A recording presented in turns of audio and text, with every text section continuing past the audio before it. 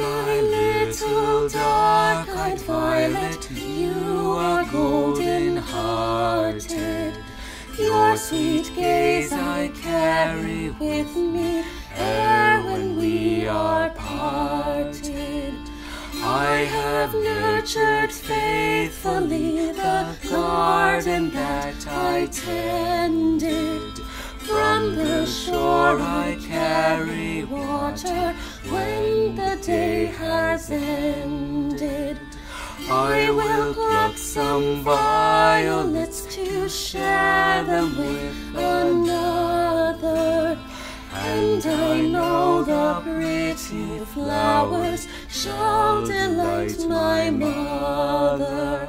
For the gentle care you gave me, all my days caressing.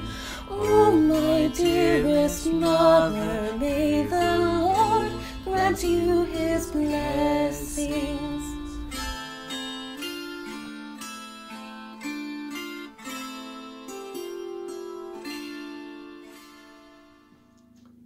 Hi, welcome to this Mother's Day worship service. Happy Mother's Day to all you mothers, and I hope you have a wonderful day. Let us begin with thanksgiving for baptism.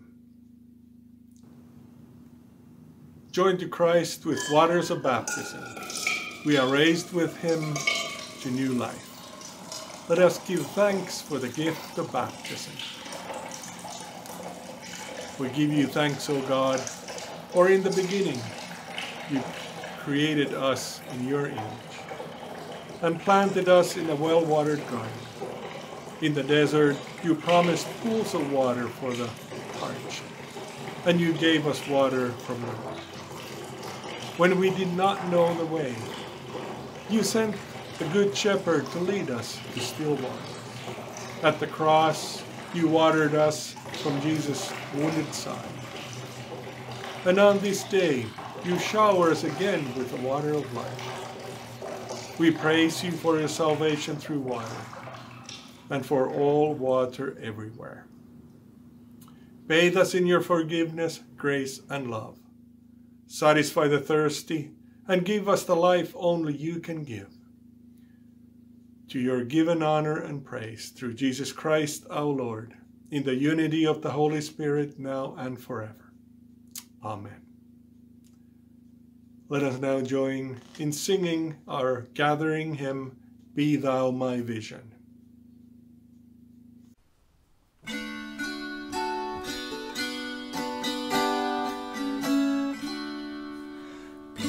Thou my vision, O Lord of my heart, not be all else to me save that thou art. Thou my best thoughts both by day and by night, waking or sleeping, thy presence my light. Be thou my wisdom my true word. I ever with thee and thou with me, Lord. Thou my soul's shelter and thou my heart's tower. Raise thou me heavenward, O power of my power. Riches I heed not, nor vain empty praise. Thou my inheritance now and always. Thou and thou only the first in my heart. Great God of heaven, my treasure thou art. Light of my soul after victory won. May I reach heaven's joys, O heaven's sun. Heart of my own heart, whatever befall, still be my vision, O ruler of all. The grace of our Lord Jesus Christ, the love of God, and the communion of the Holy Spirit be with you all. Lord, have mercy. Lord,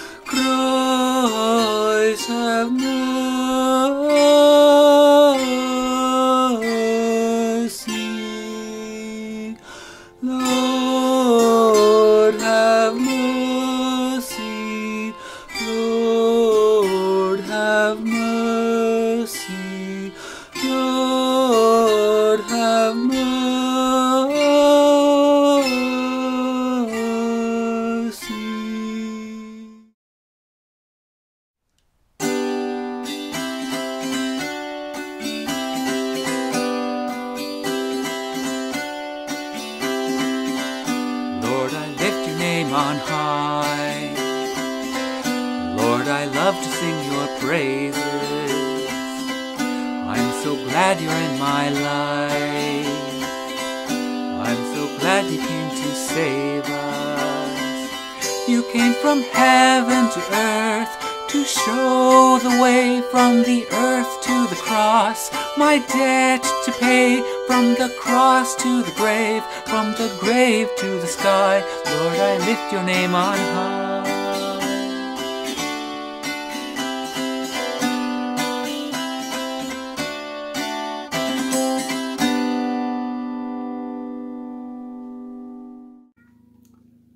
Let us pray. Almighty God, your Son Jesus Christ is the way, the truth, and the life. Give us grace to love one another, to follow in the way of his commandments, and to share his risen life with all the world. For he lives and reigns with you and the Holy Spirit, one God, now and forever. Amen. I invite all the children and so minded, please have a have a good place to sit and listen and join in. It would seem that all of us have someone in our lives who mothers us in some way. To mother a person is to nurture or to take care of a person. That person could be a mother, a father, or someone else. Have you given the person who mothers you a hug today? If that person is far away, far away from you today, then you can send a hug through a conversation on the phone or even by email or text or Skype. And that's very important right now with this physical distancing, especially when there, it's even harder to get together. So use those modern methods, all that digital stuff, to send a hug and a kiss to those special people.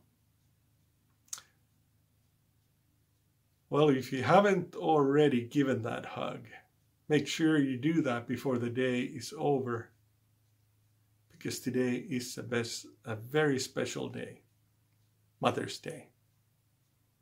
Well, I knew or know that all you knew that already. But did you know that the Bible has a lot to say about mothers? You see, God has a very special place in God's heart for mothers. In fact, God made a promise to the children who love and honor their mother and father. Here's what the Bible says Honor your mother and father, so that your days may be long in the land that the Lord your God is giving you. That's from Exodus chapter 20, verse 12. Those people who mother us do a lot of things for us during our lives. Some of those things we will never know about. What is something your mother or a person who mothers you has done for you. Think about that. Let's all pray together.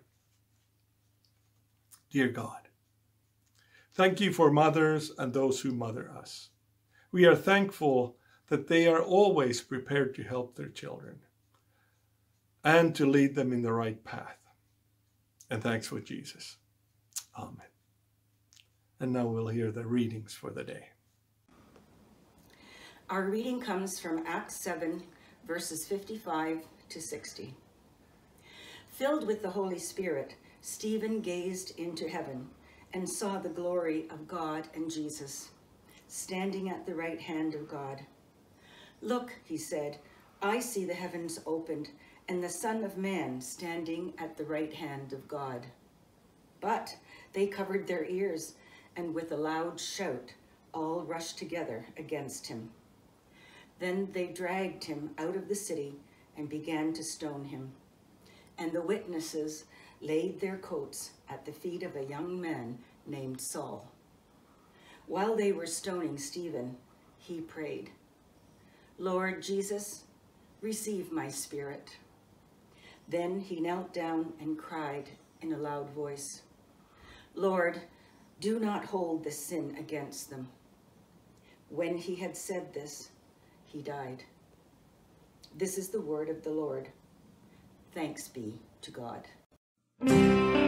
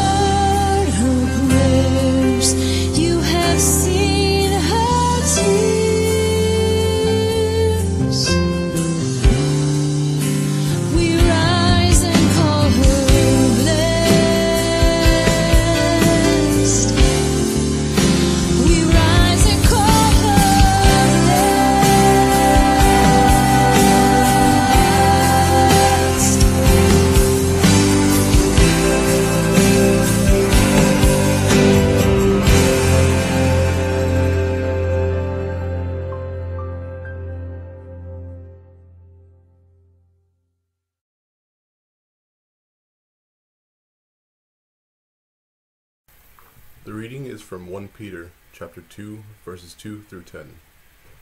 Like newborn infants, long for the pure spiritual milk, so that by it you may grow into salvation. If indeed you have tasted that the Lord is good, come to him, a living stone, though rejected by mortals yet chosen and precious in God's sight. And like living stones, let yourself be built into a spiritual house, to be a holy priesthood, to offer spiritual sacrifices acceptable to God through Jesus Christ. For it stands in Scripture See, I am laying in Zion a stone, a cornerstone chosen and precious, and whoever believes in him will not be put to shame. To you then who believe, he is precious. For those who do not believe, the stone that the builders rejected has become the very head of the corner, and a stone that makes them stumble, and a rock that makes them fall. They stumble because they disobey the word, as they were destined to do. But you are a chosen race, a royal priesthood, a holy nation, God's own people, in order that you may proclaim the mighty acts of him who called you out of darkness into his marvelous light. Once you were not a people, but now you are God's people.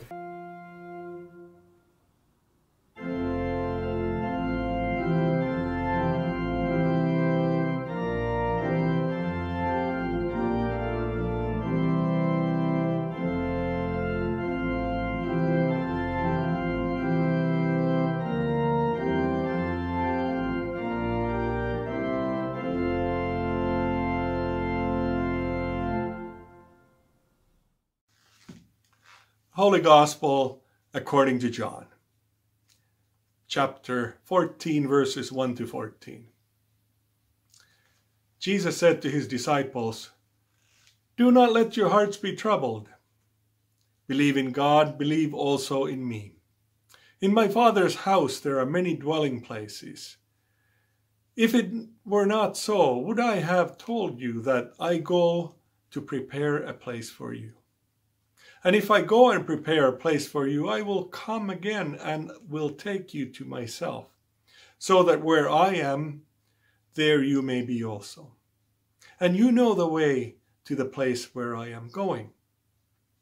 Thomas said to him, Lord, we do not know where you are going. How can we know the way? Jesus said to him, I am the way and the truth and the life. No one comes to the Father except through me. If you know me, you will know my Father also. From now on, you do know him and have seen him. Philip said to him, Lord, show us the Father, and we will be satisfied. Jesus said to him, Have I been with you all this time, Philip, and you still do not know me? Whoever has seen me has seen the Father. How can you say, show, me, show us the Father? Do you not believe that I am in the Father and Father is in me? The words that I say to you, I do not speak on my own, but the Father who dwells in me does his work. Believe me that I am in the Father and the Father is in me. But if you do not, then believe me because of the works themselves. Very truly, I tell you, the one who believes in me will also do the works that I do, and in fact will do greater works than these, because I am going to the Father. I will do whatever you ask in my name, so that the Father may be glorified in the Son. If in my name you ask me for anything, I will do it. The Gospel of the Lord.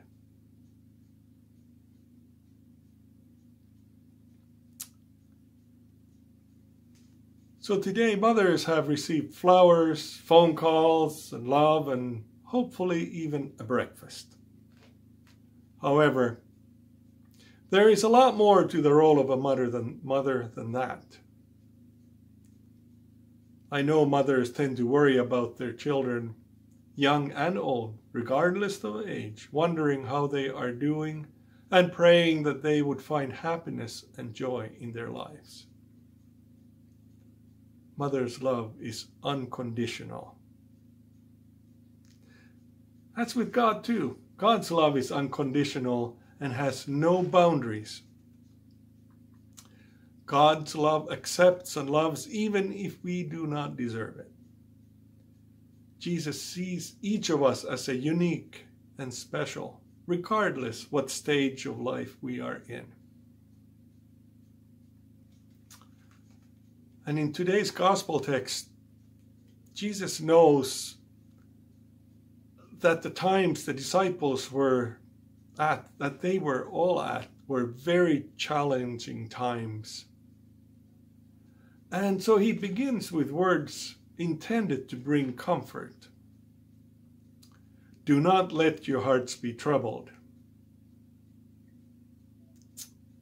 However, their hearts are troubled, very troubled. So they ask questions. And you see, that is what we do. We ask questions when we are struggling to make sense of things or, or feel overwhelmed by our circumstances. Why is this happening? Who is doing this? Why did she or he have to die so young? Why is the coronavirus happening right now? Why is it here? How come we cannot go see our friends and families and get together? What is going to happen after all of this? What? Why? Where? We ask questions. So the disciples' questions were quite, quite, quite similar, and they have similar sadness in them. When Jesus said, You know the way to the place where I am going, Thomas replied quite uh, bluntly, Lord,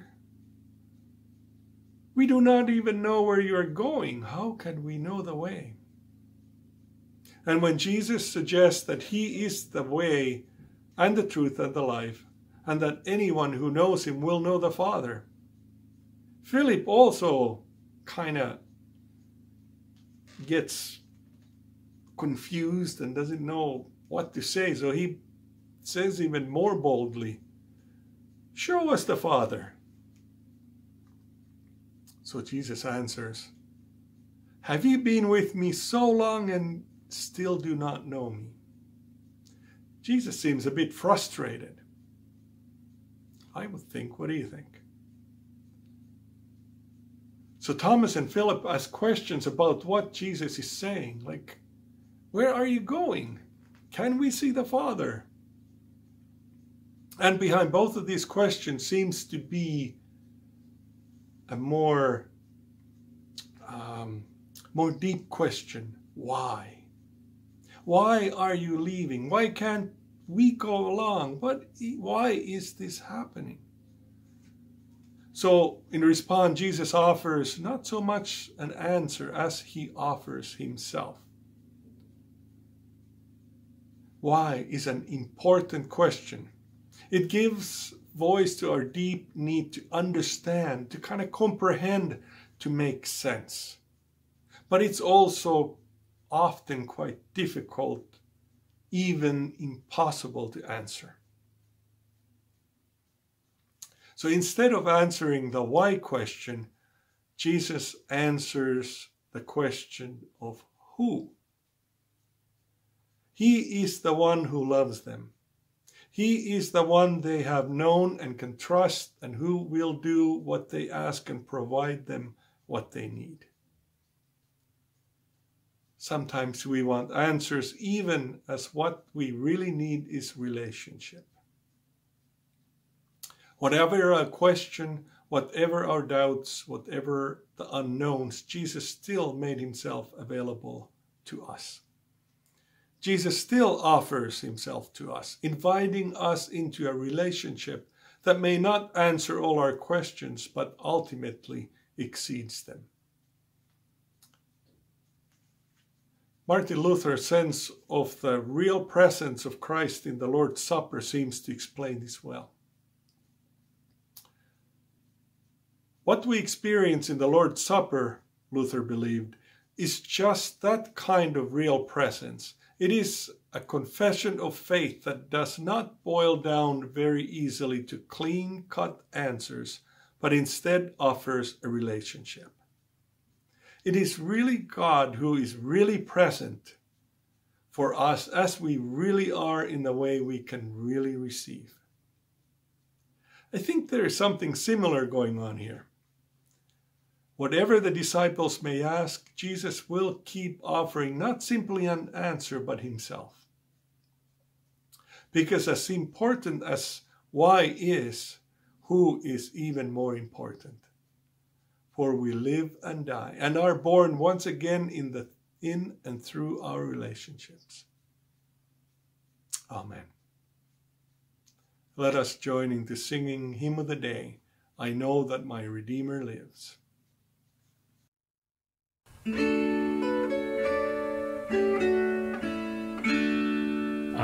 know that my Redeemer lives.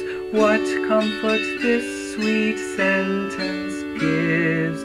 He lives, he lives, who once was dead. He lives, my ever-living head.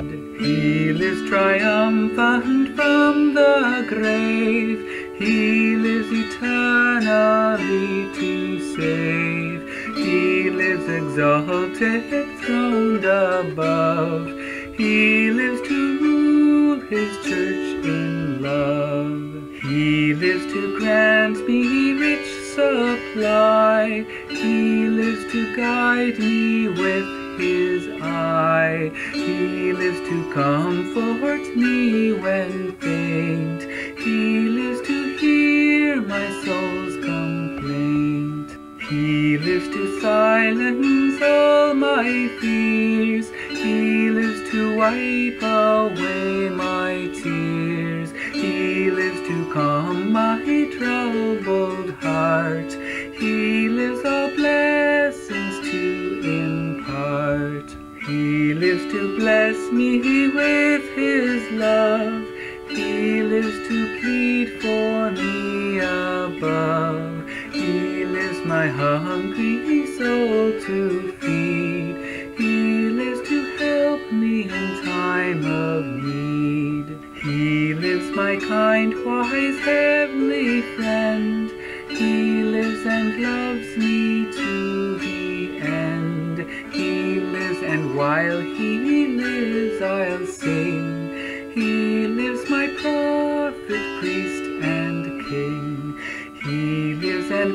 grants me daily breath. He lives and I shall conquer death. He lives my mansion to prepare. He lives to bring me safely there. He lives all glory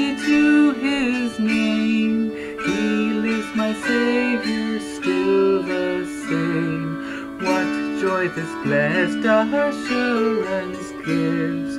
I know that my Redeemer lives. With the whole church, let us confess our faith in the words of the Apostles' Creed. I believe in God, the Father Almighty, the Creator of heaven and earth. I believe in Jesus Christ, God's only Son, our Lord, who was conceived by the Holy Spirit, born of the Virgin Mary, suffered under Pontius Pilate, was crucified, died, and was buried. He descended to the dead. On the third day he rose again. He ascended into heaven. He is seated at the right hand of the Father, and he will come to judge the living and the dead. I believe in the Holy Spirit, the Holy Catholic Church, the communion of saints, the forgiveness of sins, the resurrection of the body, and the life everlasting. Amen. Turning our hearts to God, who is gracious and merciful, we pray for the church, the world, and all who are in need. As God's beloved children, let us pray that the light of Christ shine on the nations, the church, and all those in need, saying, Lord, in your mercy, hear our prayer. O God, our healer, show your compassion for the whole human family that is in turmoil and burdened with illness and fear. Lord, in your mercy, hear our prayer. Come to our aid as the coronavirus spreads globally. Heal those who are sick, support and protect their families and friends from being infected.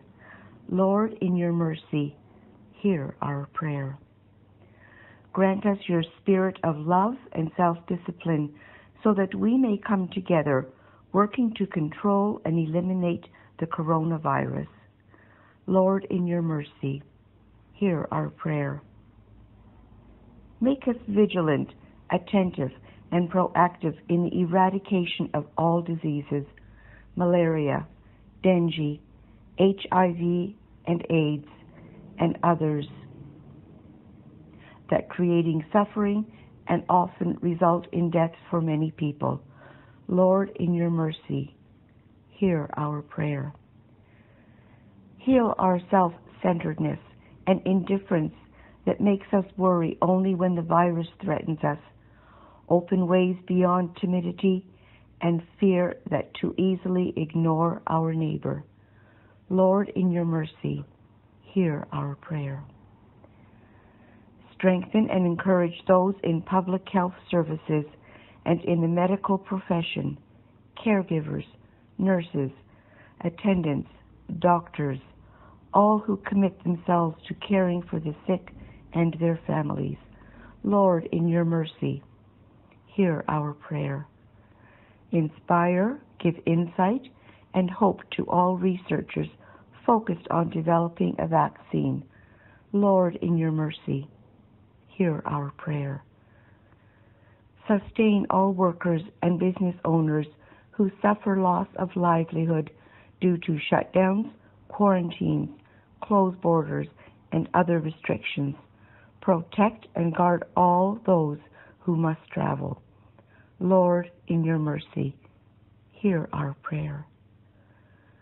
Guide the leaders of the nations that they speak the truth, halt the spread of misinformation, and act with justice, so that all your family may know healing. Lord, in your mercy, hear our prayer. Heal our world, heal our bodies, strengthen our hearts and our minds, and in the midst of turmoil, give us hope and peace. Lord, in your mercy, hear our prayer. We pray especially for those whom we na- name in our hearts or aloud. Lord, in your mercy, hear our prayer. Hold in your gentle embrace all who have died and who will die this day. Comfort their loved ones in their despair. Lord, in your mercy, hear our prayer. Remember all your family, the entire human race, and all your creation in your love. Receive our prayers and hopes. God of grace and mercy, we entrust all for whom we pray. In the name of Jesus Christ, light of the nations, salvation of the world, Lord of us all. Amen. The peace of Christ be with you always.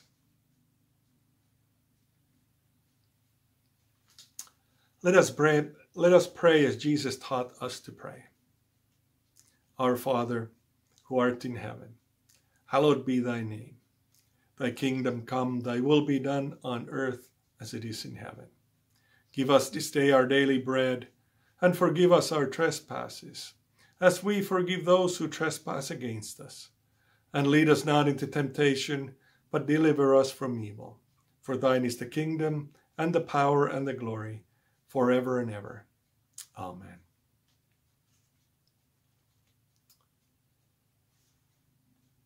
May God, who has brought us from death to life, fill you with great joy.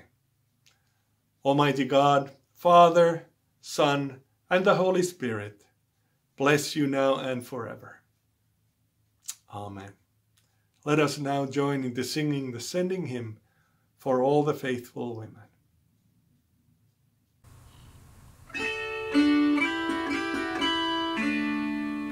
for all the faithful women who served in days of old. To you shall thanks be given, to all their story told. They served with strength and gladness in tasks your wisdom gave. To you their lives bore witness, proclaimed your power to save. O God, for saints and servants, those named and those unknown, in whom through all the ages your light of glory shone. We offer glad thanksgiving and fervent prayer we raise, that faithful in your service our lives may sing your praise. All praise to God the Father, all praise to Christ the Son, all praise to God the Spirit, who binds the church as one. With saints who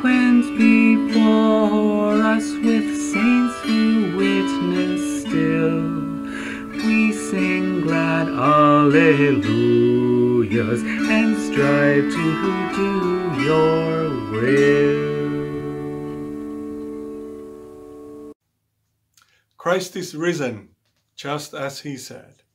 Go in peace, share the good news. Hallelujah. Thanks be to God. Hallelujah. Stay safe. Look after each other. Phone friends, family, keep in touch. Bye bye.